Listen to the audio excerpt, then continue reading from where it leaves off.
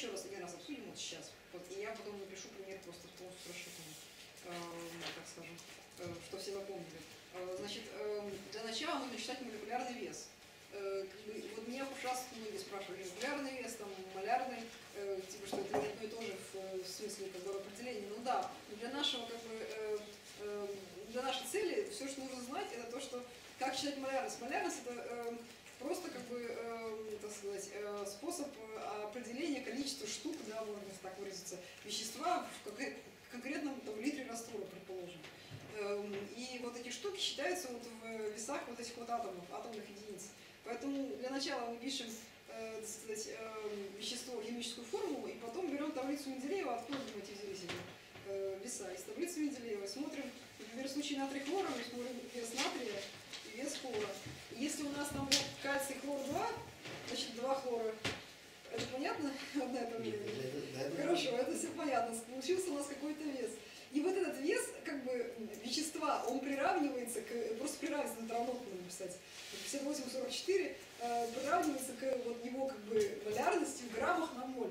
То есть это значит, что одномолярный раствор будет равен 58,44 грамма в одном литре. Вот тут, тут написано малярность количество молей на литр. Так?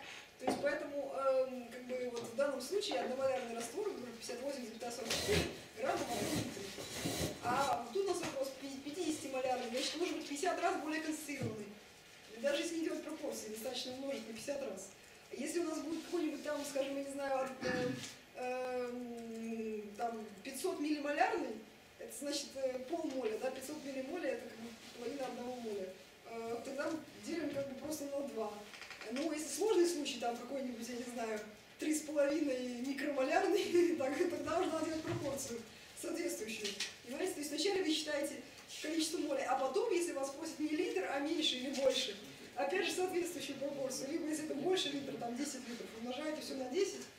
Если это меньше, там, скажем, я не знаю, 20 э, миллилитров, то есть 20 миллилитров это будет сколько, так сказать, 1 миллилитр это э, 1 тысячная, значит 20 миллилитров, соответственно, будет 20 тысячных литров. Э, то же самое. Э, в общем, ничего сложного тут нет. Главное запомнить, так сказать, определение, что тут малярность количество молей на литр и выражается это все в граммах. А, вы же сказали, я все рассказываю, так сказать, нет сами. Ну, похоже, точно. Вы меня так слушаете без проектора. Ну, кстати, он обрезанный тут. Сейчас он включится, так что лучше я этот сам идет. Так. Ну, в принципе, тут э, особо не нужно было показывать. Можно было просто рассказать так. А у меня это, знаете, откуда здесь антибиотики, потому что я это самое нажала на слайд share, а там просто как случай на лекции выскочила. Наверное, надо просто еще раз зайти. Такая наука чуть что сразу журналистика.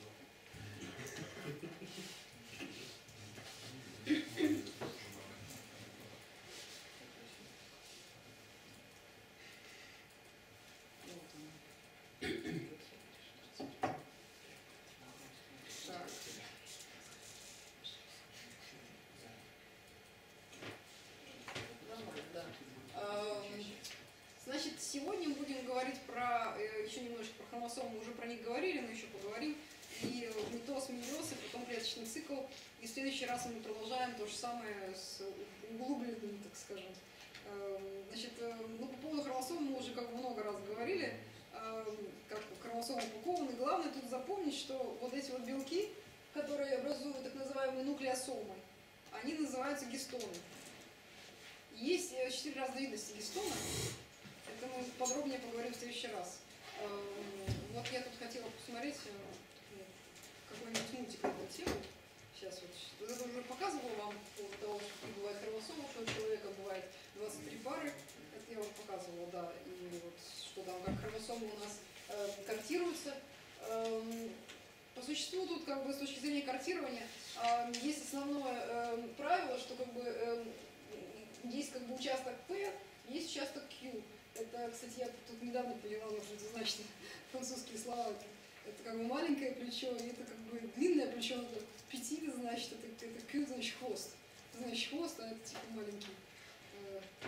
Э, центромера. И э, видите, каждый участок делится еще на подучастки. И, кстати, между прочим, еще даже есть под, под участки, это от качества бендинга. Бендинг это просто окрашивание специальными красителями. Они обычно связываются более сильно, скажем, с каким-то типом хроматина, вот, скажем, с эохроматином, и будут более темными, там, или наоборот, гетерохроматином будут более темными. А, будет более светлый, да, обычно так бывает. Гетерохроматин более темный, эохроматин более светлый. Вот тут, например, вот здесь, вот видите. И поэтому этот бендинг просто чисто физический такой феномен, который под микроскопом был определен и потом уже как бы выстроен для того, что как бы там какие-то участки, вы можете сказать, что ваш ген расположен, скажем, там в участке P там 21.3. Видите, там вот какой-то один из типов интерферона, например, несной хромосомы. Это называется генетическая карта. А тут вот, э, помните, я вам говорила, что современный, э, современный способ окрашивания, который содержит в себе несколько видов красок, даже не одну, что там разные типы э, тетрахроматина даже окрашиваются в разные цвета. То есть, э, очевидно, зависит от какие-то краски связываются больше с каким-то типом гетерохроматина, он более, как бы, какой-то тип в одном районе более насыщенный. Получается такой очень, видите, характерный рисуночек. Каждую хромосому можно отличить. Они все по-разному. Вот, а X, Y, в общем, такие, видите. Y самая маленькая хромосома. Она практически на большую часть состоит именно из гидрохроматина. Она ярко светится обычно очень. Так. Ну, это просто был пробел. Это опять половые хромосомы. X, Y хромосома, видите, вот здесь вот. А тут X и Y. То есть XX это у нас э, женская особь, XY это мужская. Так. Ну теперь, прежде чем говорить про... Сейчас. Про период,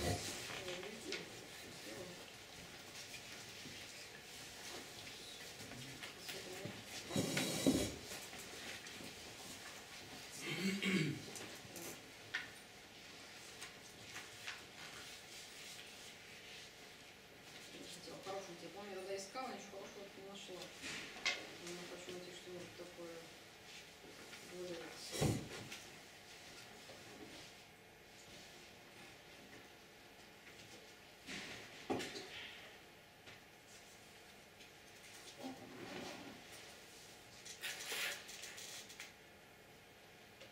Ну, вот давайте, например, вот тут есть.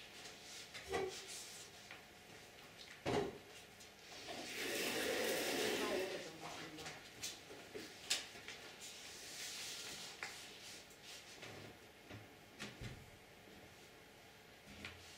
Тут просто вначале посмотрим, как это под микроскопом, так сказать, это может быть лучше, чем...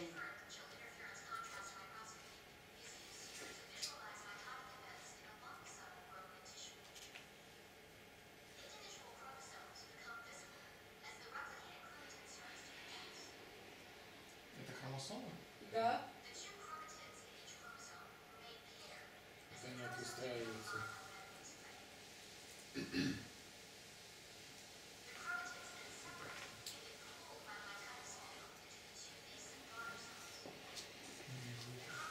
это, по-моему, растительная клетка, я не знаю, почему, мне кажется, но это не, не важно. Это так называемая контрастная микроскопия. Вот это обыкновенный световой микроскоп с специальным, специальным стеклом, там, которое выдает такой вот. Так, Что произошло? а вот. Хромосомы разделились. Это трехмерно надо посмотреть. Быстренько, да, действительно. Эти были размазаны, те были расплющены. А, они не то, что расплющены, это просто способ способ визу- визуализации по микроскопу. А, ну тут они не говорят, это просто такой этот самый сделан трех. Это не очень интересно. Так, ну ладно, давайте сделаем то, что я хотела. Так. Ой, это не, это не ясно, извините, не ясно, ладно еще. Так. А вот, вот интересно, есть метоз в настоящем времени. Я как бы э, хотела вам показать это вот конкретно.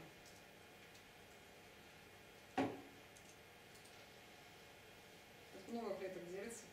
Одновременно. Ну, довольно быстренько. А можно еще раз? Я не понял, что происходит. Давайте лучше посмотрим как мультик. Как да, слушай, покрашено.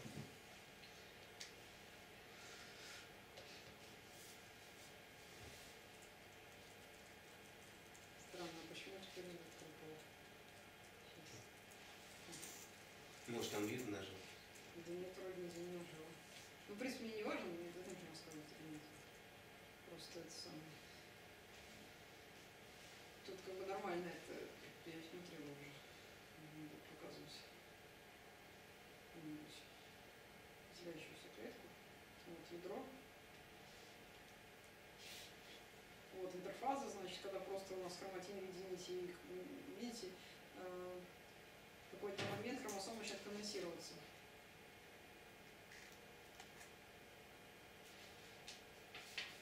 И это вот центриоли у нас, значит, э, делятся, в которых микротрубочки потом прорастают.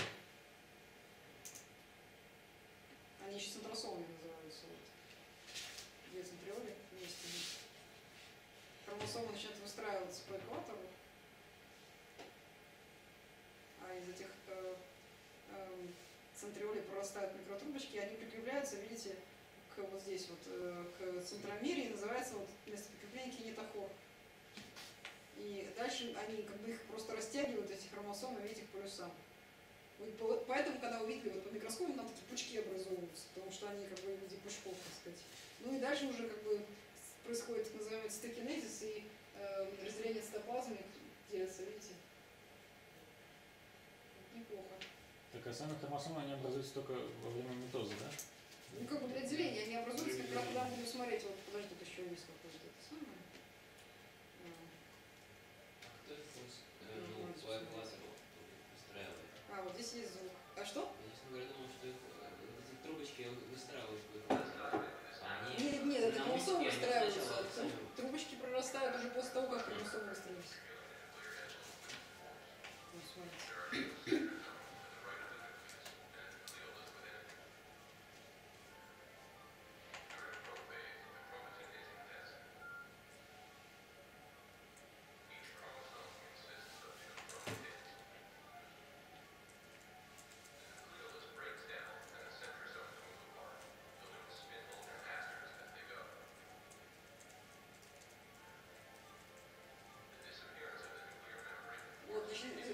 Исчезает ядерная мембрана, разумеется.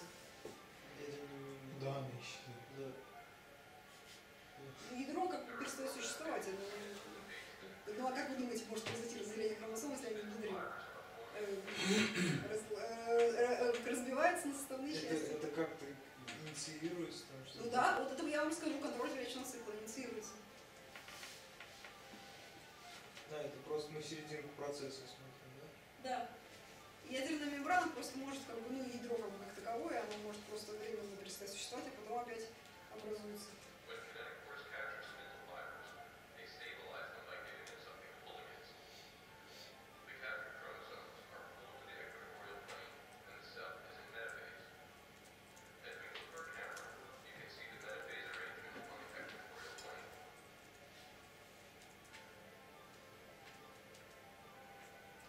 Дело в том, что у нас как бы э, была двухцепочная ДНК, но она реплицировалась и получилась, поэтому хромосома как бы каждая как бы получается, она в два раза больше информации содержит. Поэтому когда мы их эти нити э, разделяем, то тогда у нас каждая дочерняя клетка получает ту же самую информацию, э, как и родительская. То есть во время митоза у нас в два раза больше содержится генетической информации из-за того, что перед митозом произошла репликация.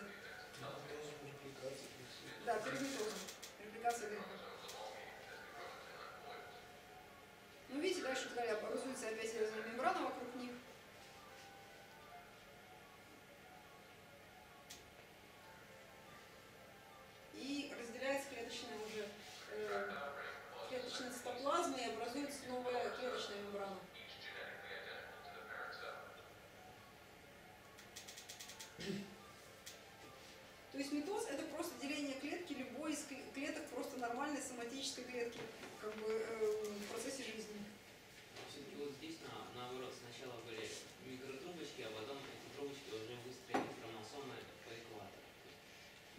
что вначале были центриоли, они всегда присутствуют.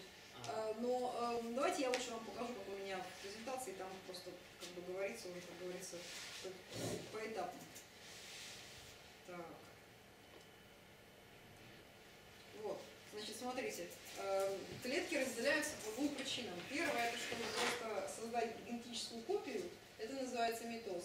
А вторая, чтобы создать гаметы. Гаметы по определению, то есть половые клетки, содержат половину информации. То есть они, как бы, вот вы помните, организмы диплоидные, то есть которые имеют хромосомы от матери от отца, э, то э, они содержат так называемое 2n количество хромосом. То есть, скажем, у человека это 2 умножить на 23, равно 46. А гаметы, то есть там сперматозоиды и яйцеклетки, они содержат, соответственно, только 23 хромосомы. Ну, это понятно, потому что при оплодотворении у нас они сливаются, и получается вот 23 на 2. 46. А, да. Ну тогда вопрос, а вот это две пары, ой, 23 пары, они функцию-то, в общем-то, одинаково выполняют, да? А, ну, в смысле, э, Там удвоенная как информация. бы а- а- отцовская и материнская хромосома, они должны теоретически быть идентичными, но практически там есть, когда мы будем проходить эпигенетику, они могут различаться в определенных участках э, как бы своей конденсированностью. То есть там может быть вот, пункт метилирования ДНК, я говорила, что там говорит, в контроле как бы уровня конденсации, он может различаться у отцовской и материнской хромосомы. Таким образом, отцовская и материнская хромосомы вообще фактически не идентичны. То есть они по своей последовательности ДНК, разумеется, идентичны, за исключением, разумеется, мутации, если вдруг там в одной какая-нибудь мутантная аллель, в другой нет. Но как бы фактически, если вот, э, у, скажем, млекопитающих, по крайней мере, если мы берем какую ошибку в развитии эмбриональном, что происходит либо два отцовских набора, либо два материнских, то не образуется нормального э, организма. То есть там в одном случае я не помню сейчас в каком, ну, когда будет лекция, я вам расскажу, там в одном случае получается просто гипертрофия, э, э, как это называется, гипертрофия э, тро- трофобласта, то есть ткани вот э, плаценты э, вырастает э, без всякого эмбриона, а в другом случае получается как бы ложная, ложная как бы типа раковая опухоль, ну, типа, как это сказать, э, она не обязательно злокачественная, она может быть просто доброкачественная вырастание ткани. Это вообще какая-то страшная редкость бывает, когда э, сказать, вырастает просто какая-то ткань эмбриона, но это в результате э, такого вот странного ошибки оплодотворения, то есть когда теряется либо отцовская, либо материнская, весь геном. Вы скажете, к этому может приучиться на пустой сперматозоид или пустая яйцеклетка, то есть это такая э, редкость один на миллион, но бывает такое. Так что вот, вот, помните, Алексей, как раз вот Аня рассказывала, они вот там таким занимаются, там это пузырный занос там есть, ложная беременность, еще там какие-то типа зубы там вырастают у человека там в матке, да, там какие-то большие количества ткани зубов там или еще чего-нибудь страшная совершенно вещь. Так что это как бы, я не знаю, это из разряда как, как это, типа научно-фантастического. Эм, да, И достаточно еще то- специальные болезни, которые э, есть, которые как бы вроде бы как у нас присутствуют хромосомы и нормально, но какая-то одна, одна, скажем, отцовская копия отсутствует, и болезнь будет отличаться, отсутствует ли отцовская э, хромосома или материнская, хотя тот же самый ген, скажем, мутирован.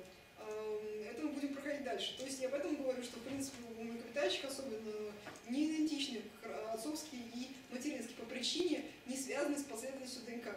Это как бы причина уже дальше конденсации на уровне вот этого метилирования. Ну, это, наверное, логично, потому что если они были бы совсем идентичны, зачем тогда половое размножение? Не, ну это как бы частный случай, других организмах размножающихся полным размножением не обязательно есть такой феномен. Как бы, они дело в том, что как бы не- идентичны по определению, потому что в одном из них может какая-нибудь мутация.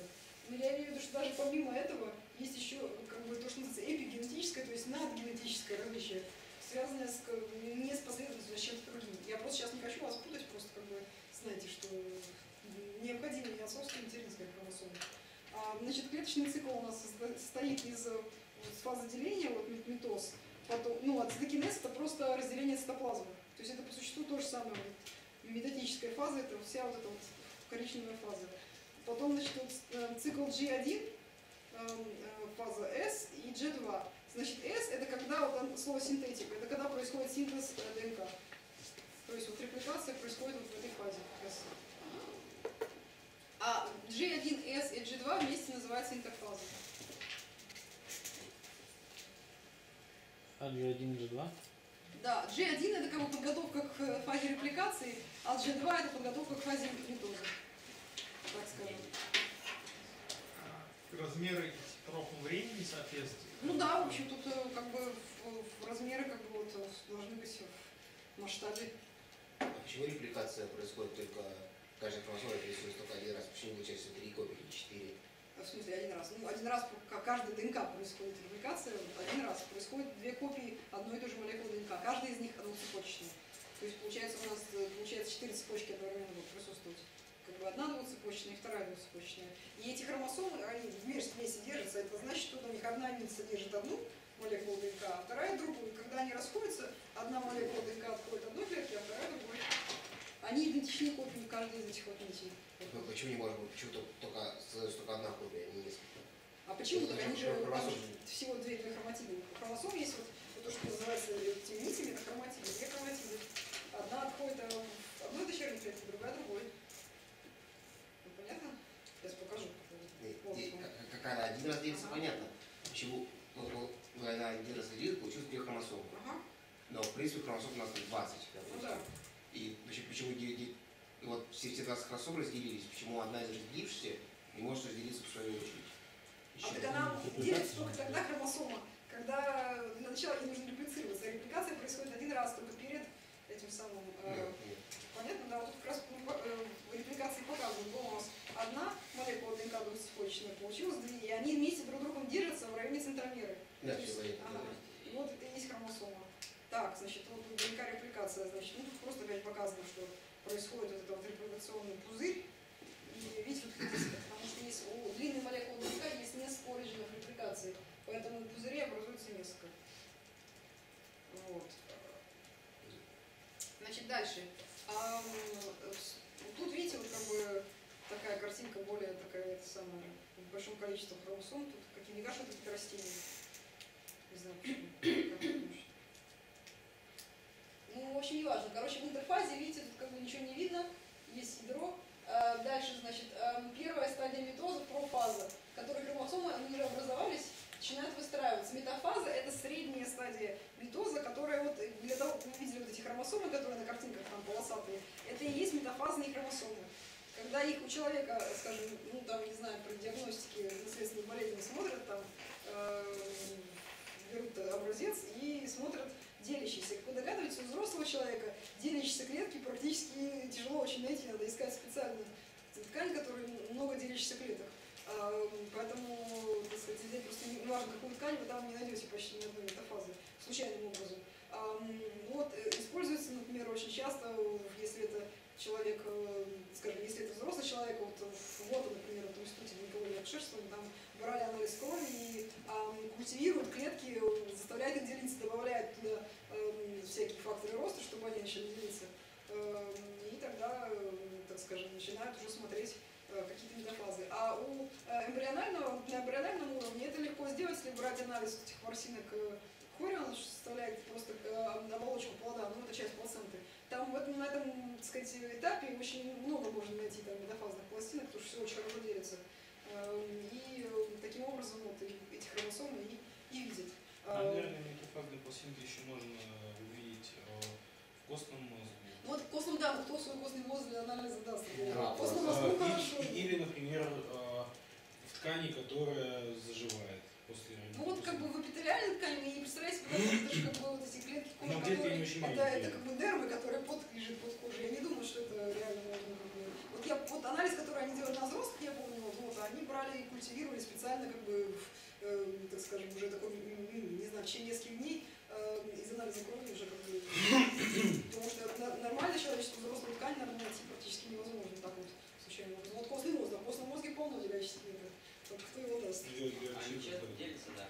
Ну, так в костном мозге находится, когда мы будем проходить уже больше этой ткани, там находятся всё, стволовые клетки, то есть предшественники всех клеток э, иммунной системы и клеток крови. И они делятся всю жизнь, потому что она же обновляется, так скажем, иммунная система постоянно должна делиться. Просто не- а, А можно сказать? Я правильно понимаю, что вот в поздней вот профазе, во второй картинке, там хромосомы, они как бы распадаются, да, по одному способу? А в поздней профазе они образуются, тут они начинают выстраиваться посередине. Они вначале просто как бы вот образовались, как бы болтались просто, так сказать, по клетке, и потом они стали выстраиваться на экваторе. Ага, вот в экваторе метафазе, да? Да. А, а тут уже, видите, образуется это метатическое веретено, вот, которое из микротрубочек. И э, это микротрубочки таким образом, они все-таки находятся, как бы, конечно, раньше, чем хромосомы образовались, э, центриоли, но из них прорастают микротрубочки только уже, когда хромосомы выстроились. То есть когда они выстроились, тогда только прорастают вот из этого веретена микротрубочки, которые эм, эти хромосомы растягивают к плюсам. Видите, вот они в анафазе они растянулись, телофаза последняя стадия, когда они уже в каждой своем полюсе. Интерфазе- две клетки. А в интерфазе ядерной мембран, мембран уже не существует. Нет, нет, интерфаза и есть, когда как бы интерфаза это фаза, в которой существует все, потому что это G1S и G2, и когда существует ядро, и клетка нормально живет, кушает и растет, А, делает то, что ей надо, а она разрушается только уже вот здесь вот, когда начинается вот митоз. Вот первая профаза, вот стадия. Вы спросите, еще тут G2 зачем? Э, Там есть свои особенности, я вам покажу. А вот скажите такой вопрос, а почему Да. хромосомы они всегда одинаковые? Казалось смысле, бы, по размеру? ну вообще по форме, ну по размеру, по составу. То есть, А они по размеру могут разные. У человека, вот смотрите, это просто вот здесь конкретно, я не знаю, что это за организм, может, какое-то растение. У человека они все разные, посмотрите его. Ну, Они там просто э, По размеру. не может так получиться, что клетка во время интерфазы, она там истрачивалась из там, определенный тип генов и на белки, да? Вот, и просто не, они не могут уже реплицироваться, их нет. Репликация всегда, А, на нее смысле, всегда то хватает есть, ресурсов. Когда, в общем-то, ну, перевод ДНК в ген, он сопровождается тем, что ДНК остается, да? А, да. Одна спираль, да? Нет, Одна а каким образом, так сказать, э, Нет. репликация не зависит от того, что происходит в клетке, это Ну, просто копия ДНК делается. Мгм. Просто не может так получиться, что ДНК кончится. Э, ДНК? ДНК кончиться не может. не расходуется. Ну, конечно. Чипов уже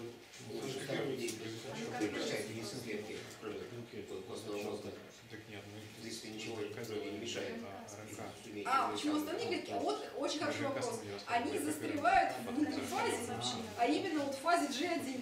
ну, ладно. А, то есть как бы вот у них просто они не переходят в стадию репликации, опять же, потому что вот мы будем обсуждать, клеточный цикл контролируется определенными белками. И как бы на каждом вот этом вот эм, границе между фазами происходит так называемый чекпоинт. Это как просто пограничный контроль, типа пограничный контроль, да. И если этот пограничный контроль не пройден, то дальше клеточный цикл не идет. Так вот в этих клетках он застрял вот на этом уровне. То есть если вколоть, вколоть нужные белки, то.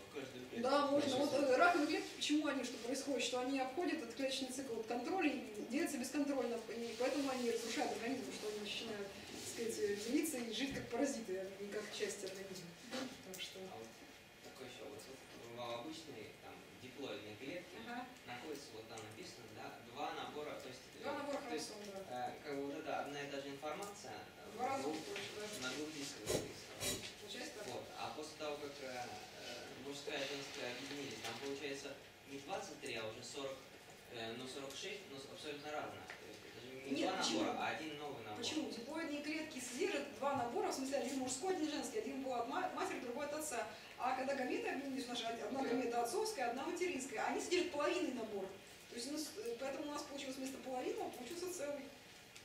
То есть получается половина. Ну или скажем того, 1N, чисто хорошо, можно лучше сказать 1N, как бы, то, что содержит гаметы, скажем, 23 хромосомы у человека, а эм, как бы клетка уже соматическая, клетка тела, она содержит 23 от папы, 23 от мамы, это как бы 2N.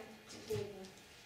Там что-то картинки, вот, там были, были пары хромосом, ну, д- хромосомы разбиты по парам, и они разного размера. То есть это означает, что если мы возьмем одну гамету с одним набором и другую гамету с набором, чтобы они смогли слиться, это значит, что в каждой паре должны быть э, Так хромосомы-то разные, из этих вот 23, 23 хромосом каждый имеет свою э, длину, свою форму, они, они с ним Ну, и, и- и я, я это говорю, то есть, сейчас, если возьмем геопроизвольные гаметы, то вероятность того, что они совместятся 2 в 22. Нет, зачем? Э, А там же каждый из них содержит совершенно одинаково. Ведь хорошо, из этих 23 хромосом каждая гамета должна содержать каждую, и первую, и вторую, и третью, все 23 хромосомы, все разные 23 хромосомы, как положено. Они не могут, так сказать, разделяться э, каким-то случайным образом, потому что как же они разделяются? Смотрите, это же одна и та же была хромосома, она разделилась на две, как бы в клетках. Эм, И дальше, как в случае митоза, каждая из них получила по эм, а, тому же набору. А в случае гамет получилось только половина. Не забегайте, пока я про миоз расскажу. Гаметы получаются в резу- в результате миоза, это несколько другой процесс. И там получается как бы два деления. То есть первое деление, э, ну, я вам расскажу, как, пока про гаметы не мучитесь. Давайте про митоз да, закончим. Э,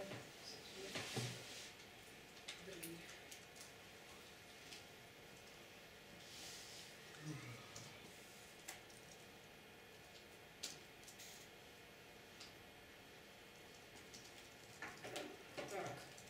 Ну хорошо. Значит, э, тогда э, э, тут у нас тоже то самая картинка, просто видите, более как бы схематическая. Вот, кстати, по центриоле вы их можете увидеть. Был, значит, у нас э, э, центриоли, которые как бы уже были, видите, э, в паре, и они начинают прорастать микротрубочки до того, пока еще даже как бы ядро развалилось. Ядро еще существует. И поэтому хромосомам есть куда присоединиться. А дальше микротрубочки уже продолжают как бы вот э, расти таким образом, что хромосомы растягиваются, вернее сокращаться, я бы сказала, что хромосомы растягиваются сам. То есть надо запомнить, что э, центриоли у нас всегда пара, или вот центросомы там они еще называются. И первично, наверное, пожалуй, да, первично это образование веретена, а потом уже прикрепление к нему хромосом. Но это так происходит все быстро, вы помните в реальном времени, что там даже не видно, когда, вот, так сказать, практически одновременно. И э, дальше, вот видите, у нас получается, каждый из них получает по одной только нити. Но каждая из этих нитей содержит в себе двухцепочную ДНК. Поэтому некоторые путаются, как бы, это не значит, что они одноцепочные ДНК. Это те же самые как бы, двухцепочные ДНК, просто вот у нас одна, другая. И дальше уже, как вы видите, происходит разделение цитоплазмы, и, так скажем, э, э, каждая клетка получает по одной из э, центриолей также. А дальше, в течение уже дальше, дальнейшего клеточного цикла, этот центриоль делится на две. То есть перед тем, как начинается у нас митоз, она уже поделилась. Но когда клетка только разделилась, она имеет только одну. Заметьте, это... Видите, а вот, э, смотрите, вот, как я правильно понимаю, то там самый левый картинка, там вот они как бы спарены, да, вот кусочек, то есть вот снизу. Это Как бы- какая? Она фазе какого имеете в Вот, виду? нет, внизу. Да, она фаза. Она фазе, ага. Вот. э, вот там получается, что вот этот кусок, что ли, как-то информации. Ну, Что вы имеете в виду? Какой? Вот там есть э, две нижние, вот, да, предположим, два кусочка. Какие? Тут э, в одну, два нижних, да, два желтеньких, предположим. А это хромосомы. Да, хромосомы. Но они же одинаковые, да? Нет, почему? Это просто какой-то гипотетический механи- организм, у которого четыре хромосомы, то есть, то есть две пары. Ага. А, да, они абсолютно одинаковые. Это честно, вот это была вот, это, наверное, она поделилась, и получилось Вот короткая. Получилось вот эти две коротких. Как длинная, да, получилось две длинных. А они, они не должны восстанавливаться. Это скорее э, потом, когда они делятся, они получаются такими хромосомами. Это уже есть двухцепочная молекула ДНК, и уже для функциональности все, что надо, она имеет. А, но потом, когда она готова будет поделиться, клетка, она получается в этот момент как бы уже не двухцепочечная, ну, если можно сказать, а четырехцепочечная. То есть как бы каждая хромосома содержит в себе две молекулы ДНК. Две нити, видите, и когда они разделяются, вот каждая нить это одна молекула. А здесь было две. То есть тут в этот момент у нас четыре молекулы, как бы четыре как бы молекулы, четыре. Две Нет, просто все понятно, мне кажется, что вот эти... Можно Ну покажите, да. Что вот эти, они же между собой нашу информацию несут, нет? Нет, почему разные? Разные, да? То есть, Да. то есть они как бы. А, выглянуть и все. А, Нет, они были совершенно разные. А. Какой-то организм, который имеет четыре хромосомы, две пары. Если бы был человек, то было бы 46, 23 пары. 23 пары все-таки. 23 пары, как бы, да.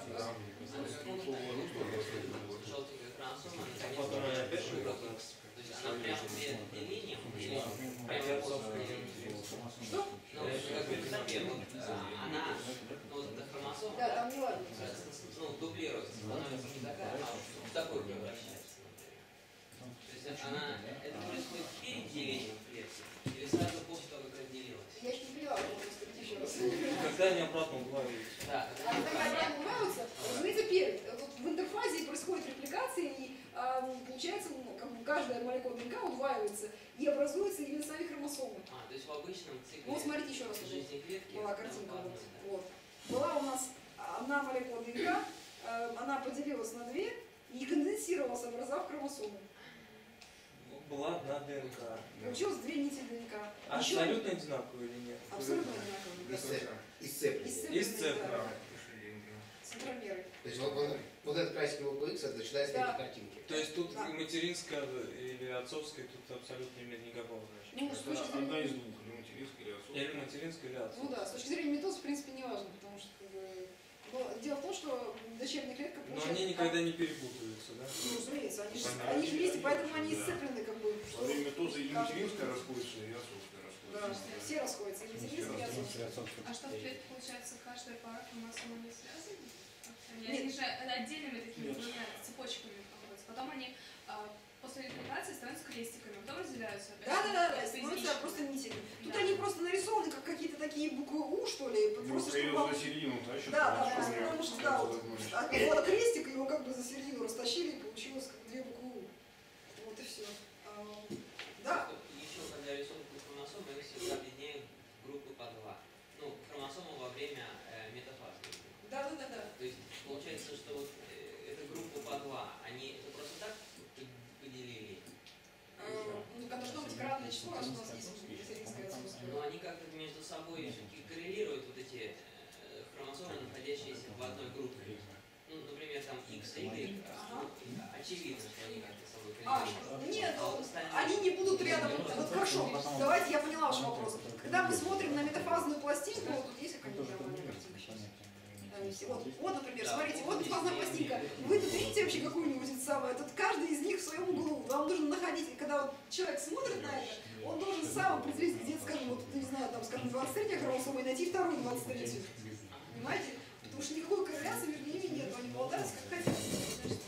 А вот, э, э, вот сейчас нарисованную хромосому в виде крестика. Да. Значит, что они, это же репликация. Это метафазная, это Это очень метафазная А, а чем вот тогда, э, ну, есть ну, X, Y, да, у, там, значит, хвосты, как-то что-то короче. как там- А, ну это просто форма. Y-хромосома у нее очень маленькое плечо и поэтому она похожа на Y, вот и все. А, просто Они все равно крестик, даже Y-хромосома да. все равно крестик. Он просто, видите, у него очень маленькая вот эта вот э, верхняя часть. грубо говоря, длинный заметен только тогда, когда происходит. Да, Это любая хромосома. любая когда хромосома заметна, когда происходит митоз. метафазе, Да. когда она сгенетировалась.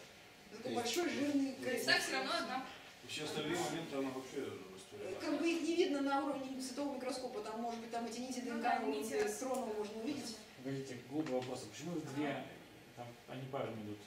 Там до, до этого было. Скажи еще раз, почему? Почему их две вот? Две, Ну, две, там, две первых, две вторых, две третьих. Так я же сказала, 23 пары. Одна от отца, другая от матери. Ну, на, на пред- на предыдущей А картинке, потом про это расскажете еще про? Только Да, да, про меня Мельосу не понимаю, что скажу, значит да, от отца про от матери. Мельосу потому что- на предыдущей картинке и Да, хромосомы нет. Вот, какой? вот на это вот. Вот, да. Вот тут хромосомы это палочки, а Да. там хромосомы это крестики. Это путает. Ну так а что делать? Здесь вот такие хромосомы, видите, которых очень маленькие, эти самые маленькие вот эти плечи, плечи П. А, есть, а Нет, нет, нет, я думаю, что здесь, здесь вот первая это пара хромосом, Да, и вторая пара они хромосом. прямые, прямые, прямые.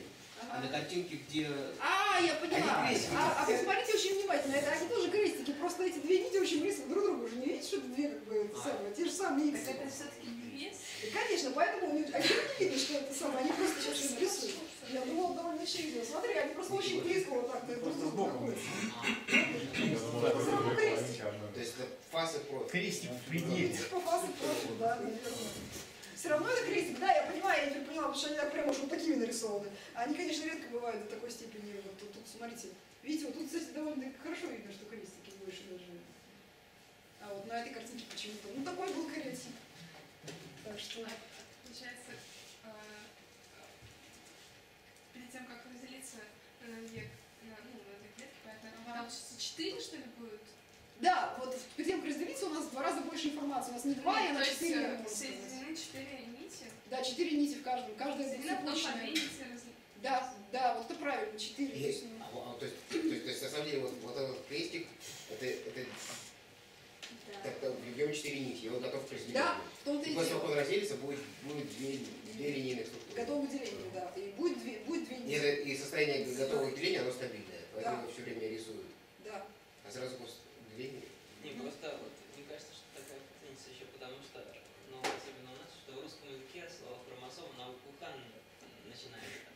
Она очень похожа вот на этот. И Поэтому хромосома, даже если она не двойная, она все равно воспринимается как двойная. Да?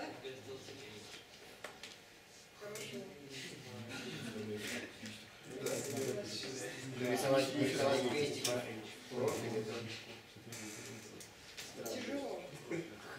Ладно, смотрите, значит, про, это, значит, про фазах вы видите, когда у нас начинается встраиваться вот, э, уже хромосомы, ядро еще существует, но оно, уже начало его оболочка разлагаться, и центриоли у нас уже поделились и образовали вот это самое веретено. И, значит, про метафазе, это про метафаза, это как бы первая часть метафазы, так скажем. Они начали выстраиваться, вот, и они прикреплены к этим микротрубочкам. Тут э, место прикрепления называется кинетохор. Вот написано. Ага, а это просто полюса. Как бы есть как бы полюса экватор. Значит, метафаза уже сама образуется вот эти вот, видите, конкретно вот выстраивается, так сказать, очень таком хорошем. Поэтому вот эти, когда мы видим клетку, метафазные пластинки, то, что называется, эм, мы не видим, разумеется, эти все центриоли, эти микротрубочки, мы видим просто лежащие хромосомы. И поэтому они уже так больше на крестики похожи, так э, Да, но на самом деле там как бы в каждой вот этой желтой штуке там тоже две. ну да, да. А дальше, видите, они начинают расходиться, полюса в анафазе. И в телофазе они уже полностью разошлись, и начинается процесс деления э, я вам расскажу. Очень маленькое расстояние. А что Да. это? Ну как тут сейчас будет? Ну, вот, э, да? Все нормально, нормально, очень хорошо. Да. Да. Значит, а, видите, дальше, значит, как бы, рассмотреть интерфазу, в интерфазе их увидите, нарисованы такие точечки. Значит, что хроматин у нас здесь, э, на таком уровне, что стоит микроскоп мы не можем. Но, разумеется, у нас есть нити ДНК там плавают. Просто это такая как бы гелеподобная структура, э, поэтому ядро просто определяется в виде такого вот, я не знаю, такого темного в центре клетки участка. Ну, вот тут опять у нас кариотип, видите. Кстати, да, вот посмотри, вот, Яков, вот здесь вот, тут неплохие крестики, они что совсем это самое. Просто там метафаза случайно, которую они взяли для этой картинки, была, может быть, какая-нибудь прометафаза, которая еще не очень хорошо они там понимаю. Анализ, а вот так.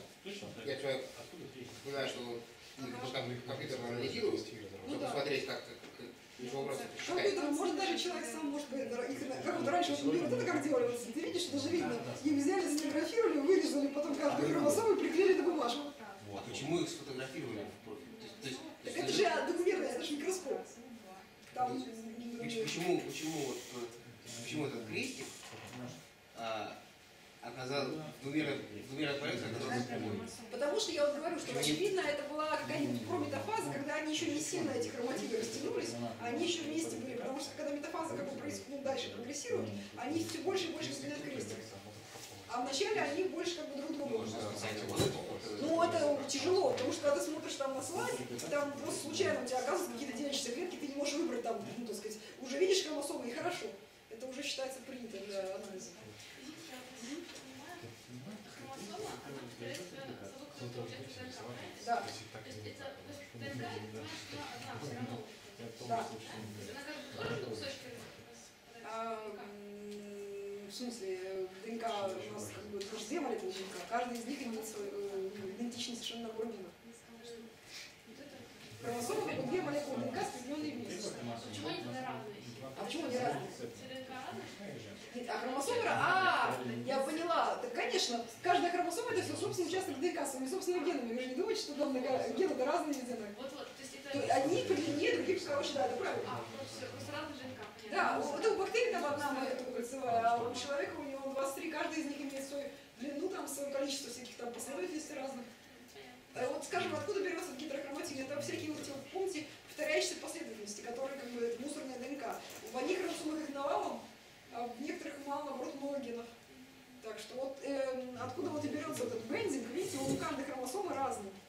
Вот тут все 20, э, 23, то есть 22 аутосомы так называемых, то есть не половых хромосом. И вот хромосома X, хромосома Y. У хромосомы X, как вы видите, вот, я не знаю, маленький тут участочек гена содержится. А остальное же просто всякое, всякие повторы. Сейчас, а скажите, чем концептуально отличается XY от остальных? А, Тем, что на, как бы на хромосоме X содержатся гены, которые включают развитие эм, по женскому принципу, а в Y некоторые только. А, Там как бы все равно мужской, как бы, э, развитие мужского фенотипа образуется не с участием X хромосомы и других. Но все же без хромосомы Y, эм, как бы если будет X0, будет все равно не мальчик. Помните, мы обсуждали? ну, Что если физически... X0 будет эффективная девочка. А. Но они вообще плавают отдельно, да, как бы вот XY там. Ну, есть а, в смысле, как они... Нет, вот, кстати, хороший вопрос. Да, ведь они что же пара? X, Y вместе разделяются. Но они ни- никак не сцеплены. Нет, нет, никак. Они каждый из них по-своему, да. А это, а за счет чего Y получается? Потому что она как-то криво разделяется? Как я понимаю, крестики, да, они становятся Да нет, он просто так называется. Не запутывайтесь, что как бы у других организмов, например, он совсем мужская хромосома может выглядеть совершенно по-другому. Просто вот такая у него форма, она больше похожа на букву «И». Ну ладно. Еще один последний глупый вопрос. Хромосомы как крестики выглядят, да, это потому что это в результате репликации. Была Да, да, получилось две хроматиды, два, Ну, три, Тут просто у нас какие-то теории уже пошли про то, что это там, двойной крестик там. Нет, нет, ну как бы, ну хорошо, можете сказать, что двойной крестик. Почему Каждая двойной? молекула ДНК, она содержит двухцепочные, так? Да. Двойная спираль. И вот тут тоже двойная спираль. Да, ну хорошо. Две двойные спирали. Ну да, да. Так что, в принципе, это... Ну, Если на уровне двойных Ага. можно. Вот, ну хорошо, вот смотрите, есть э, еще карты хромосом, опять у нас куча разных. Тут больше вот, с- вот Яков, смотри, вот какие-то больше похожи на крестик, какие-то больше на палочку. Так что... А, еще, кстати, вот интересно, хромосомы бывают, э, так называемые метацентрические, которых э, центромер посередине. И бывают вот э, акроцентрические, в которых вообще центромера так смещена, что там вот, это- вот эти плечи почти незаметны, поэтому похожи на Y. Но там есть маленькие-маленькие такие вот тут крестики. А можно вопрос еще? Такой дефективный крестик, да. А вот этот участок, который, за который прикрепляются трубочки, как- С центромером он прикрепляется. Называется кинетохор, это место прикрепления метро- да, они в этом месте две хромосомы, они скреплены просто? Да, виде хроматиды. Две хроматиды. Скреплены. Поэтому они не, дают им раз- разойтись. Раз- расходятся они потому, что микротрубочки начинают их физически растягивать по концам и разрывают вот эту центромеру, да. А как они там скреплены? А, там определенный комплекс белков, которые вот центромеры, да, белки специально присоединяющиеся к центромере, которые скрепляют. Так, вот все понятно? Так, давайте про мейоз теперь.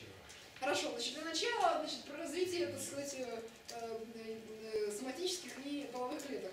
Значит, э, э, два типа клеток существуют. Соматические, те, которые образуют все ткани и органы, за исключением тех, которые будут гаметами, то есть сперматозоидом либо яйцеклеткой. И все эти клетки нашего организма, они просто делятся митозом. Народ, давайте это самое. это Ну а, так, и э, второе это половые клетки, по-английски называется germline. А, они э, делятся в уже как бы э, процессе там нескольких там, не знаю, вот, называется гаметогенез, э, образуют зрелые гаметы, сперматозоид и яйцо. Вот.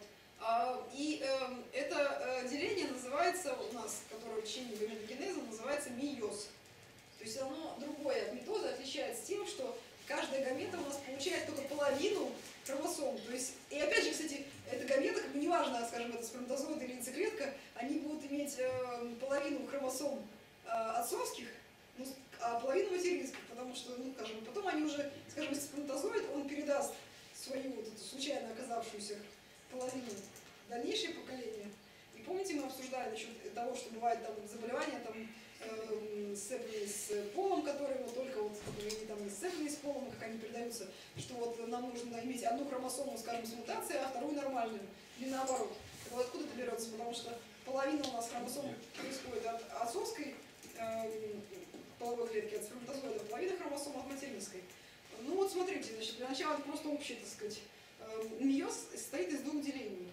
А, у нас есть как бы сейчас вначале э, э, возможность получения э, уже э, диплоидного потомства, то есть как бы состоящего из э, одной э, материнской и одной отцовской.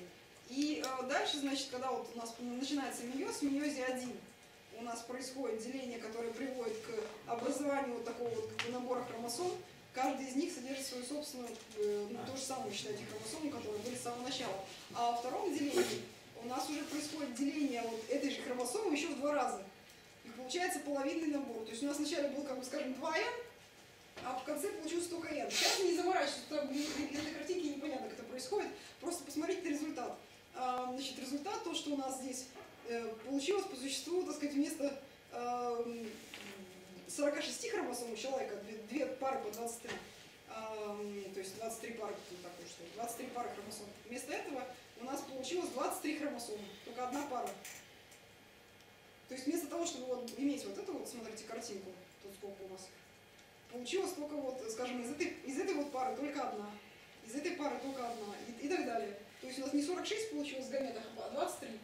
Эм, То есть это редукционное деление у нас в два раза меньше получилось, потому что в этом весь смысл. Так, э, значит, э, э, собственно говоря, что такое гаметогенез? А, Все половые клетки образуются из предшественников, которые существуют там ну, на разных стадиях развития. Скажем, вы знаете, что там э, мужские э, половые клетки, они образуются течение жизни, э, вот этот процесс гаметогенеза, а женские на уровне эмбрионального развития, поэтому и считается, что как бы они только созревают уже потом в процессе, так сказать, э, жизни, оно, они застряли на каком-то уровне миоза, уже на уровне это, сказать, э, эмбриона, и когда э, новорожденная девочка, она уже имеет э, все яйцеклетки, которые у нее э, будут э, в течение жизни, но они еще как бы последний миоз 2, они еще не прошли. Вот это созревание, оно уже будет как бы миоз 2, второе деление. Но они уже существуют.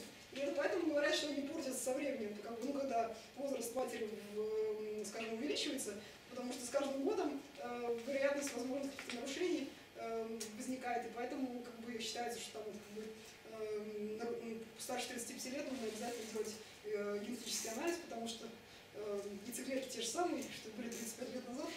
Так что вот. А ну, тут как раз сперматозоиды написаны.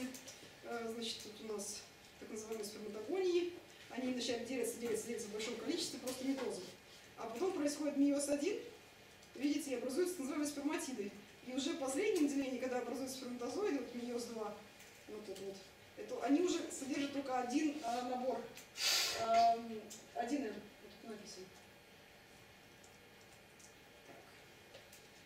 Ну хорошо, а тут просто у нас э, показан там, скажем, папа, мама, да, э, каждый имеет э, в себе полный набор, но гаметы, как вы видите, содержат половинный набор, да, а, а когда у нас у папы светло-зеленый, а у мамы темно-синий, и вот когда они соединились, получилось у нас, значит, с, э, ну, как бы, теоретический организм, в котором 6 хромосом, 3 пары.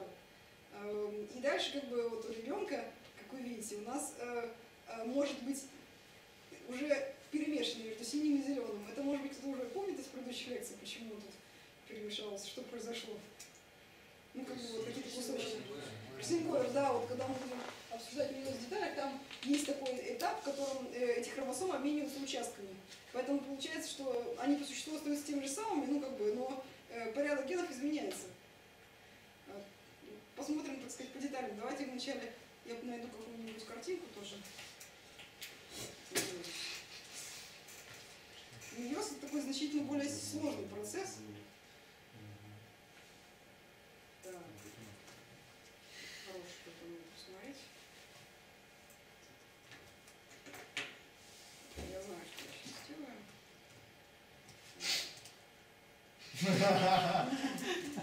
Ой, видео. Ну, да, из Best, может, оно ясно появилось. Это что-то не то. Ну-ка.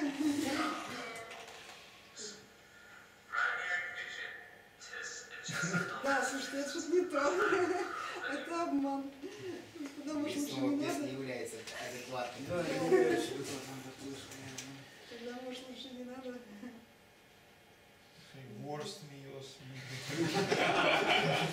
То же самое. Это то же самое, да. Ладно, давайте не будем, да, так давайте просто не нес.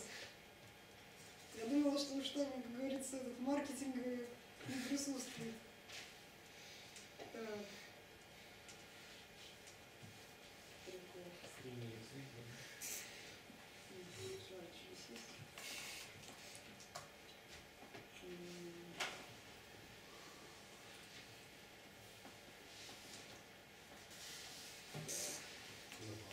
Может, ВКонтакте поискать видеозапись. Да там не стоит.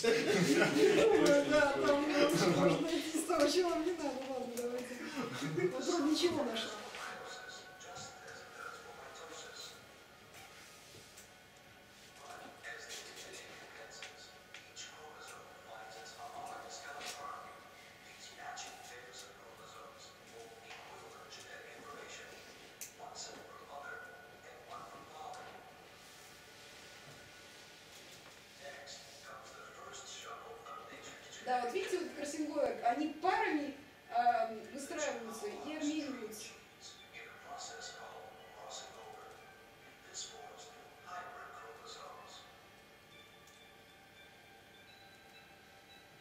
Спор, зачем это надо, я расскажу еще.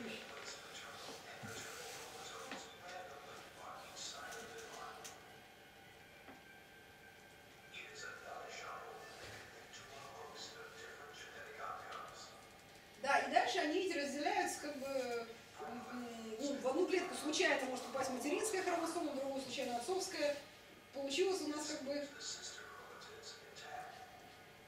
хромосомы, а не хроматиды разделились. Вы поняли, да? Сами хромосомы. А дальше уже они расходятся на хроматиды. То есть в первом делении расходятся сами хромосомы и получается в два раза меньше хромосом из-за этого. А как они разделились, если их никто не растаскивал специально? Ну и сейчас еще раз по деталям посмотрим. Смотрите, пока В смысле, их растащили?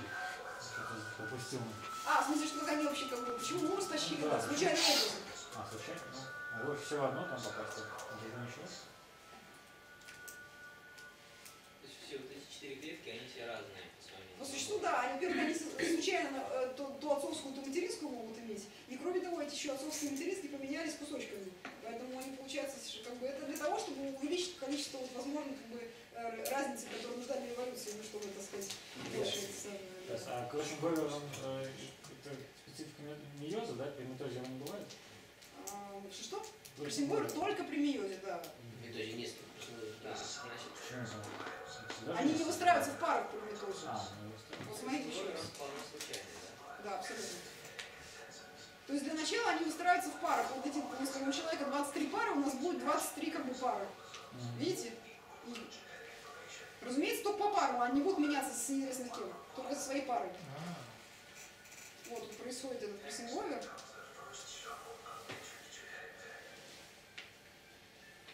Я что-то синенькое не было.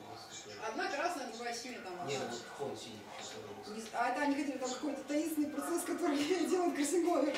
Это рекомендация, мы будем про это говорить потом. Это уже удвоилось почему. да. Э, Смотрите, теперь они выстроились, эти хромосомы, и дальше делятся в первом делении мейоза не, хромос, не хроматиды, а сами хромосомы. То есть прямо целая хромосома одна отходит прямо со всеми своими двумя этими самыми. Отходит к одному полюсу, другая к другому, в случайном порядке. То есть каждый квадратик делится на четыре. Нет, тут они в первом делении, они не, не- не делятся, в том-то и дело. Они просто в две группы распределяются. А дальше, во втором делении, они уже, видите, они говорят, что хроматиды не так. они. А во втором делении они уже делятся как при митозе. На, э, как бы, это получается в два раза меньше. А, Надо, еще раз сейчас, посмотреть. скажите, а второе деление зачем? Кажется, кто-то понял уже, да? То есть, то есть, получается, что вправо у нас первая, вторая, третья пара хромосом, а в левом четвертая, пятая, шестая. Э, Не пара, а как бы из каждой пары все равно будет одна, как бы они же должны быть всё-таки более-менее идентичны. Еще уже с уже перепутали. Уже перепутали, да. Давайте я лучше покажу по, по, по этапам, там будет понятнее, да. А еще Меньше получается это где? Получается, что Ну, у нас было скажем, 23 пары, да, а получилось просто 23. Не 46, а 23. у нас не может получиться такое 21 Что-что? Нет, ну не может меньше получиться. Нет, не может меньше, чем 23, но 23 все равно получилось, вместо 46. А, ну в клетке должно быть. Да, да, в каждой клетке. в организме получается, что все gameты между собой разные. Да? Ну, как бы там сколько вариантов. Во-первых, там 4 может быть вариантов. там, да? 20 23 там. Как это быть 23 в степени 2? 2 23, да, 2 23. То есть, Да, и на самом деле, может, там больше или быстрее. То есть на WhatsApp вот все третий разделить на три. Из каждой хромосомы нужно выбрать одну хромосому. Хоть мужскую или женскую. Поняли, да, как вот сейчас Леша сказал, что 23 фигуры по два. э, два в 23 степени возможных вариантов, потому что э, как у нас каждая хромосома может быть либо материнская, либо отцовская, а их всего 23 пары. Так как, как, как мало, а еще же они кроссинговые. Плюс красивотом, да. Тогда еще больше, что 23, а сколько вариантов.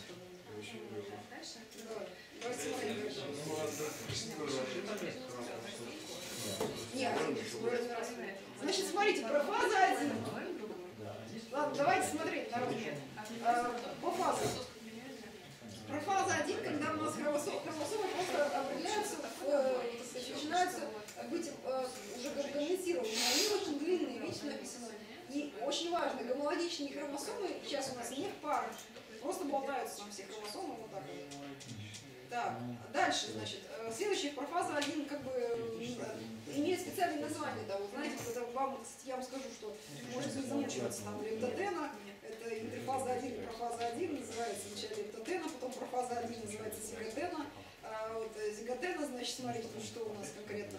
А, хромосомы у нас э, выстраиваются в виде таких вот Видите, каждая содержит по, э, каждая хромосома содержит две хроматиды, разумеется. И э, эти хромосомы между собой в некоторых местах соединяются. Видите? Э, то есть вот, это выглядит вот так вот. То есть у нас две хромо хромосомы каждой пары соединены вместе, и в некоторых участках они перекрещиваются. Вот когда как раз-таки красивое происходит. У нас есть две хромосомы, они реплицированы. Да. И потом вот так скреплены в одном месте. Да, получается у нас четыре хроматида. получится. Получается у нас два, два крестика. Два Они крестика друг с другом вместе. сходятся, и там Да. уже Ну, меняется. вот тут нарисовано, смотри, как раз. А, вот да. Два крестика, они друг с другом сходятся, вот они вот рядом находятся. Каждый, каждый из них как бы э, представляет собой двухцепочную молекулу ДНК, так? И вот одна из этих цепочек ДНК перекрещивается. Одна, разумеется, не две сразу. Ну, потому что, сами понимаете. Вы спросите, каким образом они друг с другом сходятся вообще, а по комплементарности. То есть какие-то участки, которые случайно оказываются комплементарными и э, происходит обмен. А специально есть ферменты, которые делают эту комбинацию. И получается, как бы, что меняется таким образом, если какие-то гены, вот, скажем, находились здесь, да, но он объединился участком, объединялся с другой хромосомой, то порядок генов изменится. То есть, мало того, они меняются посередине, они еще потом где-то могут поменяться, да? Нет, вот э, красивое происходит только в фазе 1. А, тут вот. Нет, Сингулер обменивают гомологичные участки, это все хорошо. В смысле, они, они именно поэтому комплементарны друг другу. Ну, вот я говорю, что гомологичные. э, Они совершенно А вот закономерно комплементарны друг другу, потому что там вообще одни и те же гены. Ну, разумеется, потому что С иначе как бы- какими-то возможны полиморфизмы э, на одном месте. Ну да, потому что, как вы понимаете, они должны быть абсолютно как бы, в тех местах, где они соединяются, они должны быть комплементарны, иначе как они соединятся. А, значит, э, эти самые э, как бы, фигуры, которые образуются при Красенбовере, а как они по-русски называются? Хиазмы, что ли? Хиазмы. Что типа хиазмы? Э, В общем, э, вот эта странная фигура, это даже не Никс, а бог знает, что такое. Видите, которые при Красенбовере, как видно, а, они, да, вот хи- хиазмы, да, хиазмы. А во время кроссинговера может несколько участков поменяться? А на хромосоме, разумеется, они там не до 23, это больше получается. Вот смотрите, у нас одна вот эта вот получилась, она может еще и здесь перекреститься. И еще где-нибудь перекрестить. Еще где-нибудь, да. И сколько хочешь раз. Да это все вряд ли, там они все-таки имеют Там по времени, наверное, ограничено. Вряд кажется, прикасаются в большом, сильно большом количестве. Я тоже не думаю, что это слишком сильно, можно посмотреть, сколько раз может быть. э, Ну не один, и не два. Ну, не, ну точно это- не один и не два, да. А за счет чего? Ну, какие ну, не знаю, структуры а, Как? способствуют тому, что меняются? Ну вот я говорю, что есть специальный фермент, который называется рекомбиназа, который как бы, позволяет им как бы э, кусок, как как сказать, вырезать и вставлять в другой. Но, э, как сказать, скажем, у нас есть ген там А, Б и С, да, на одной хромосоме. Другая хромосома, это же ее копия, это как бы две пары. Она, у нее тоже есть гены А, Б и С. Разумеется, ген А будет с геном А, Б с Б, ну, спариваться, С, С. А дальше, вот скажем, там, где был ген А, он, э, э, А, Б, С, он поменяется местами с С. То есть он окажется у нас на другой хромосоме, там, где был ген С. Но э, он, он, не исчезнет, он не исчезнет из этой хромосомы, он просто станет в другом месте. А в той хромосоме, где вот у нас был ген А, на этом месте оказался ген С. Э, Поэтому, как бы, единственное, что меняется, это по существу только порядок генов, и все. А, Потому что, как бы, у нас все равно остается... то есть некоторые гены, допустим, которые были близко друг к другу, поэтому наследовались. Да, вот помните, что они могут оказаться Они, они вместе, как бы, ну, вместе выходят. Потому что если они находятся близко, то вряд ли они, как бы, будет возможность перекреститься. Э, Они меняются, вот, скажем, вот этот ген может поменяться вот с этим геном местами. Но если они прямо вот тут находились, они прямо вместе, так скажем, и, уйдут одной группой. И таким образом можно сказать, что чем ближе как бы, гены находятся друг с другом, тем они э, чаще наследуются совместно. Да, но они могут, опять же, в результате кроссинговера разойти, да, разные Если достаточно далеко, да, они будут наследоваться не совместно, и каждая из хромосом будет содержать как бы какой-то ну, ген, которому э, э, другой не было. к тому, что может быть такое, что вот гены, которые до этого были близко, они Мгм. потом окажутся там, потом в одной из гамет окажутся далеко. После А, если у нас произошел нас были близко и далеко, не, ну они, если они близко, они вместе наследуются, они же не могут перекреститься. Те только разделяются только те, которые достаточно далеко находятся, и, и как бы, они А. могут. То есть Они любой точки перекреститься. Да, Ну там да. физически просто у них не, бы, потому что чтобы образовался этот крест, эм, достаточно много ДНК нужно. То есть, грубо говоря, расстояние между генами пропорционально количеству возможных, э, пропорционально вероятности кроссинговера между ними. Да, То есть можно сказать, что расстояние между генами по цепочке достаточно большое, но да, возможность давайте я чтобы так. Э, Абсолютные правильно, это картирование, оно на этом, вот до того, пока было известно вообще что-то, вот было дендрофобов туда скрещивали, они смотрелись, и там, скажем, не знаю, там красные глаза там с какими-нибудь там короткими крыльями наследуются все время вместе, там, которая с красными глазами, у нее все время крылья короткие. Они сделали вывод, что эти два гена находятся вот прямо вот очень рядом на хромосоме. Ну, Так оно и есть. Но на самом деле они могут э, находиться достаточно далеко, ну, с точки зрения БСПС. Ну да, с точки зрения... Но, но, нет, между ними нет возможности для Ну, кроссинга. достаточно близко по, для кроссинговера, то есть как бы... э, Чтобы не было Да, кроссинговера. да, не то, чтобы они прямо рядом next to each other, нет, не обязательно же прямо вот один-два. Там для кроссинговера есть какой-то, просто нужно посмотреть какой-то определенный лимит, который должен быть как бы расстояние, чтобы при- этот крест образовался. Так что... То есть э, кроссинговер э, э, равновероятно может любой практической точке. Ну, как бы, вряд ли, опять же, этот крест будет тоже такой гигантский, хотя, может быть, скажем, я не знаю, ну вот, по крайней мере, это центромеры, это должно быть в одном плече. Там вот, вот здесь вот, скажем, я не знаю, и вот там вот, тут какой-то маленький крестик такой нарисован. Смотрите. Да. Э, Вот, значит, дальше у нас продолжается про фаза 1 вот, диплотена. Короче, эм, э, крест уже такой очень хорошо видный, и вот эта вот хиазма, она именно вот образует, как греческая буква хи, я вспомнил, откуда это взялось. Это вот как русская хэп существует. Так что... Вот, рекомендация. Видите, а вот тут, было- тут хорошо нарисовано, кстати. Вот. И, значит, есть у нас, предположим, вот какие-то, я не знаю, ген там А, Б, С и Д, да? И, и на одной хромосоме у нас эм, э, большие буковки, то есть, значит, у нас там доминантная аллель, а на другой рецессивная. Ну, так получилось, гетерозигота. И тут, значит, смотрите, что получилось. У нас получилось а, те же самые А, но аллель-то другая, она поменялась, аллель. У нас получилось А маленькая на той, которая была А большая. То есть ген-то все равно тот же самый, они же как бы парные. А что изменилось, только его э, вариант. У нас был один вариант А большой, а и вариант А маленький. И вот и все. откуда берутся эти красные глаза, короткие крылья? Предположим, у нас А большое это красные глаза, а маленькое это желтые глаза. Я так просто говорю. Э, так сказать, Э, значит, в том, где у нас красные глаза, это А большое. А вместо красного вдруг стало желтые глаза, А маленькое. Э, вместе с, со вторым геном, который кодировал крылья. Поэтому вот оттуда это все и пошло. Главное, что он запомнит, что не сами гены, действительно, я, может быть, неправильно сказала, аллели скорее меняются. Гены-то все равно те же самые остаются. Э, Меняется только, эм, какая у нас, э, так сказать, ген был. Нормальная последовательность, мутированная. Э, Вот и все. Они, Есть- они, Ага. они целиком меняются всегда? Или может там какой-то кусок? Не обязательно, да. Ну, ну, конечно, в таком случае это будет не очень хорошо, потому что если у нас Все равно меняется вопрос- логичная часть. А. А если там мутация, а ну да, все равно, да, Алексей прав, даже если есть мутация в какой-то части, это не важно, потому что они, они как бы, если даже они разрываются, все равно где-то, как и в мозаике, получается целый. Ну да. Поняли, да? Потому что, э, скажем, у нас получилось там, не знаю, тысяча пар оснований ген, и он разорвался в точке 500 пар оснований. Но одна 500 пар оснований из одной линии у него получилась, а одна из другой. То есть все равно ген целый получился. Просто как бы э, та половина, которая была там из другой аллели, может быть, несла какую-то мутацию, которой не было. А, скажите, а сам кроссинговер вероятность мутации повышает?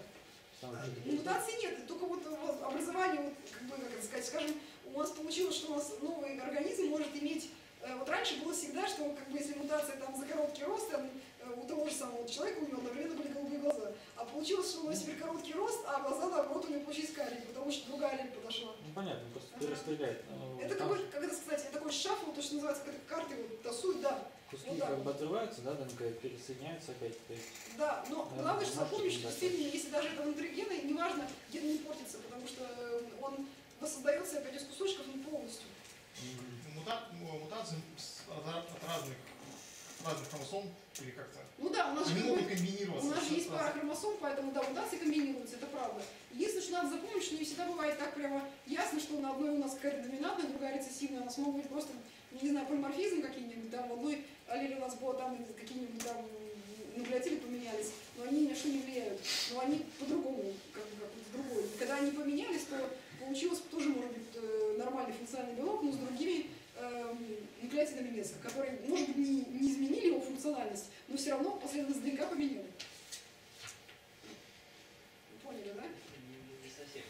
Ну хорошо, что такое различие между аллелями? Это различие на уровне секвенса, на уровне последовательности. А, Одна аллель лишь одну последовательность, другая другую, но оно может быть только одна, а один нуклеотид может быть различный. Одна мутация, и все. Смотрите, две буквы К, да? Да. Вот каждая а, какого хроматида, да? То есть Да. вот так, вот, вот эта штука. Да. Да, Раз она хроматида два, они между собой Ага. все одинаковые, правильно? Да, две, возьмем две одинаковые, то есть хроматиды, и поменяем между. Так они дальше еще раз расходятся. У нас вот смотрите, во втором делении мейоза у нас вот эта вот одна хроматида отходит к одному, э, к одной клетке, вот это к другой, у нас будет четыре разных варианта. Вы поняли? Два будут такие же, как были родительские, а два будут новые. А, то есть вы хотите сказать, только кроссинговер может двумя штуками происходит? Не-не-не, просто кроссинговер обычно происходит только между одной э, Ага. э, хроматидой и другой, а не между Ага. четырьмя сразу. Не-не, вы думали сразу между А, там между большие, а, тут маленькие, а, да, это разные получается. Да, Хромосомы, хроматиды. По-моему, очень хорошо показано с точки зрения вот, э, Они меняются только хвостами или могут вот э, Ну, как бы не центромер, перекрещиваться. разумеется. Ну. Центромер- Они должны быть либо в одном ключе, либо в другом перекрещиваться.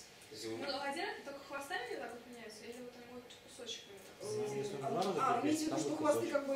Нет, Да, как бы, да. если это... Два раза Э, перекрещиваться могут или так? имеете в виду, что вот вот перекреститься? Да, неважно, они могут вот просто нарисован как на, на краю. Это может быть в середине где-то произойти, да. То есть так получается ну, Единственное, что это происходит всегда, как бы, не затрагиваются. То есть не может быть там весь центромер они перекреститься. Они должны быть либо слева, либо справа. А если с центромером это все равно, что пере- Это просто место, где они вместе держатся. кусочки. Нет, то есть, то есть, если можно просто снизу посмотреть, перевернуть и будет все. Ну да. Вот тут на молекулярном уровне нарисовано. Видите, было вот одни, одна, значит, э, желтенькая была, другая синенькая, да?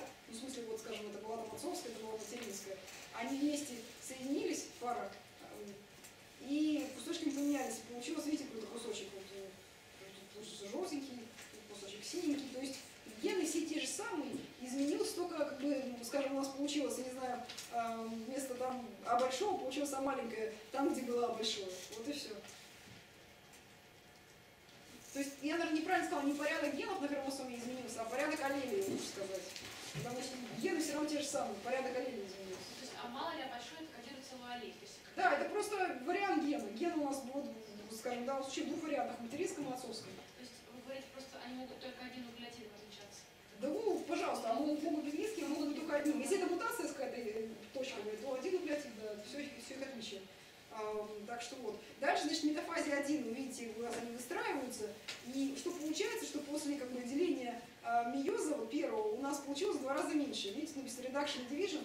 То есть у нас результат получился, что а, в, в- после вот этого мейоза 1 у нас не э, хромосом, вот видите, получилось в два раза меньше, потому что они э, случайно разделились, там, вот, не знаю, тут получилось там, скажем, вот эта хромосома там одна, вторая, тут тоже одна и вторая, было четыре, а стало две. А дальше они уже расходятся на хроматиды. То есть главное, что надо запомнить, что в первом делении мейоза расходятся сами хромосомы. Не так это было, тут они вот э, хромосомы растянули, и получилось две хроматиды, то есть две э, отдельные молекулы ДНК. А тут разошлись сами хромосомы, каждый из них содержит по две молекулы ДНК. И дальше они уже только расходятся как бы уже по два раза. То есть, э, то есть в первом делении у нас расходятся хромосомы, вы можете записать, сами хромосомы. А во втором уже делении расходятся хроматиды с, с результатом того, что э, получается в два раза меньше. Вы спросите, почему? А они тут не делятся. Видите? Тут нет как бы времени поделиться еще на два. То есть поэтому у нас два деления, а э, репликации между ними не происходит. Поэтому получается в два раза меньше генетической информации. То есть тут никакого деления не происходит. Э, Просто оно сразу же, ну, как сразу, не сразу, ну, как бы в процессе вот этого генеза переходит из, э, вот, скажем, из такого состояния в это. И никакой S-фазы тут не наблюдается. То есть происходит между первым и вторым делением. Первое, и причем в начале первого деления. В начале первого деления. Второе, это просто такое логическое завершение. Эм, И как бы вот это то, что я сказала, вот у человека там эм, на последней стадии вот миоза 2 вот как раз происходит созревание яйцеклетки, но они уже застряли, вот эти ацеты, предшественники в миозе 1, поэтому дальше миоз 2 пере- проходит уже только при, э, э, дос- ну, при, клет- при- при цикле гормональном, который происходит в процессе жизни. Так что... А, в конце миоза получается 4 молекулы ДНК, да? э, ДНК. В конце Ну, миоза не четыре. 4 молекулы, как бы 4 клетки, содержащие каждый из них по одной, э, как бы, не 4, как я сказала. Э, Если 4 молекулы, с точки зрения, если было 4 с самого начала хромосомы, а если у нас было 23 на 2, 46, то будет э, по 23 в каждой. То есть это получилось 4, а, 4 клетки, содержащие по 23 хромосомы. Нет, нет, нет. Там не важно, 4 или не 4, это просто результат из одной клетки. Из одной клетки получилось 4, да. Ну, клеток-то может быть миллионы. Из каждой клетки пол- получилось 4 гаметы. А, Э, С чего вы цифру 4 -то это самое? У нас была одна предшественница, из нее получилось 4 гаметы. Потому что деление 2. Все. А насчет количества хромосом, оно э, было 23 пары, а осталось просто 23. Тут было, видите, э, две пары, а осталось две. 23, по-моему, на первую, на второй стадии. Нет, просто я сказать, гипотетический организм, в котором две пары хромосом. Значит, э, в результате у нас получилось гаметы, каждый из них содержит не две пары, а просто две. То есть не четыре, две пары это что такое? Это четыре. А просто две. А если это человек, у него было 46 хромосом вот здесь вот, здесь оказалось 23. Половинная часть. 23 половинки. Да? Нет, 23 целых хромосом. Почему? Не удвоен. Не удвоено. Там было 46 удвоенных. Да, вот тоже правильно выразился. Смотрите, значит, хроматида это э, бы, молекула ДНК. То есть в нормальном состоянии у нас только одна молекула ДНК. Только во время деления у нас она удвоенная. Получилось, каждый из них содержит свою собственную, вот, две молекулы ДНК. А в результате мейоза э, у нас получилось, что одна хроматида в результате оказалась. Не две, а одна. То есть как бы поэтому одна молекула ДНК вместо двух. Не две пары, как у всех. Две пары, а только одна пара. Одна, штука, просто одна одна штука. штука. Не одна пара, а одна штука, да.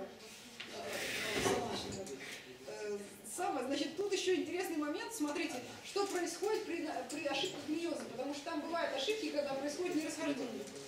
Вот видите, например, нерасхождение в мейозе 1 может произойти к трисомии или, или вот к, к моносомии, то есть какой-то одна, вот одна хромосома какая-то потерялась.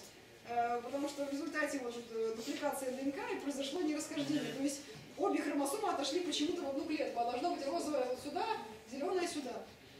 И получилось, что вот здесь у нас на одну хромосому больше, чем надо получилось во втором делении, а здесь на одну хромосому меньше. Вот откуда берется трисомия, вот, синдром Дауна и прочих. Это ошибки в мейозе. Ага. А, А вторая это, это во втором расхождении, э, как бы во втором делении не расхождение. Тут в первом нормально не разошлись, розовая, зеленая, да, а во втором вот тут вот, например, она не разошлась и получилось то же самое, да. Э, В одной клетке получилось на одну больше хромосом, это называется трисомия, N плюс один, а на второй получилось на одну меньше, N минус один, моносомия. И если вдруг вот такая вот, которая будет N плюс один, а, на одну больше, она соединится, вот скажем, я не знаю, вот с этой у нас получится э, вместо того, чтобы иметь э, парную хромосому, будет одна лишняя. Видите? Откуда берется эта лишняя хромосома в результате ошибок в мейозе? Получается XXY, да? А, нет, почему обязательно X? Это может быть какая-нибудь номер 3. Это пример. Да, 3, 3, 3 тогда будет.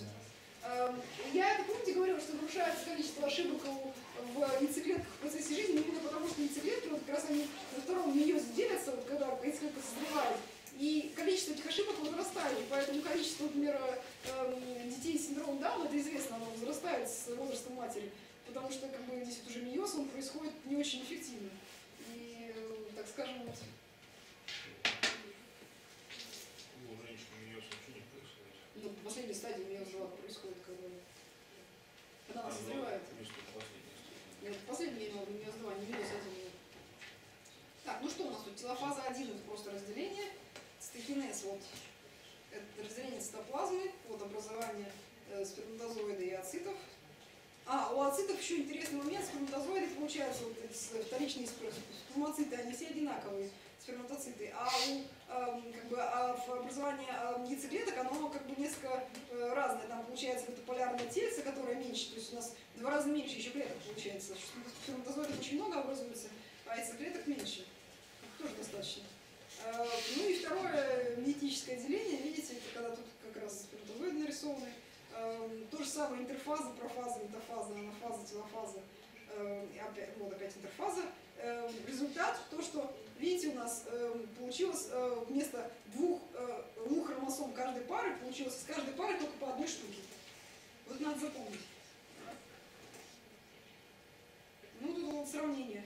Например, вот митоз. Э, Номер, э, количество хромосом сохраняется, в мейозе уменьшается в два раза. Значит, деление ядра одно деление, в мейозе два. Клеток получается из каждой как бы, клетки, которая поделилась две, мейозе так два деления это четыре. Ну и э, клетки получаются соматические, либо половые. Сколько у нас там времени? Вы 16.45, да, должны быть? В смысле, э, Да, 16 40. нет, 14.30, 15, 15, 45. Ну, что-то я не уже 16.30. 16 нормально. А 16.00? Подождите, у нас 45 минут каждая, да, вот самая должна быть? 14.30 начинается, значит, 16.00. И дальше мы 16.15 до 17.30. 17.45. 17.45. Хорошо, я уже забываю все время. Значит, нам прерыв. А прикрытие